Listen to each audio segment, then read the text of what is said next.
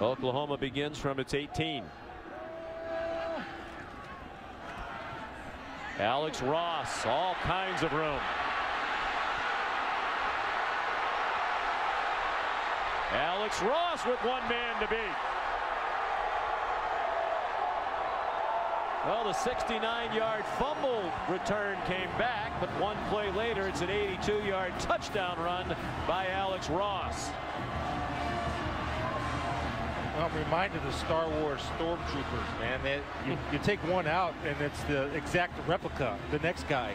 And Alex Ross, with a big open hole, shows what he brings to the table for Boomer Sooners offense, speed and the ability to finish.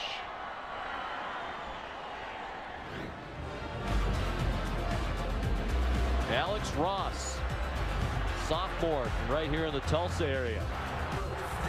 Longest run of his career. 31 0 Sooners.